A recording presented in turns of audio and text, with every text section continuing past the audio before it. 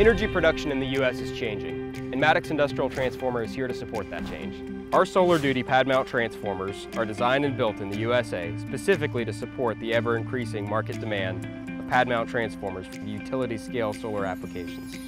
Our solar duty pad mounts are suitable for step-up operation and come with features such as electrostatic shielding, biodegradable FR3 fluid, YY connected windings, current limiting fuses, LBOR switching, separated neutral bushings, and many more. Maddox is committed to delivering the highest quality transformers available on the market with half the industry standard lead time to help you meet your critical milestones. Maddox Solar Duty Pad Mount Transformers truly are designed with solar in mind.